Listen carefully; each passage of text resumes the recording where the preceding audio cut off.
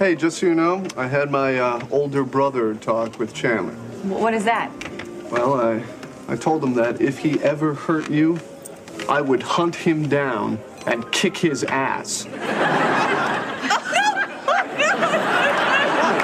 what? What is the matter with everybody? I'm serious. I would kick his ass. Please, my makeup. Of course you can kick his ass, son. You could kick anyone's ass you want to. Thanks, you guys.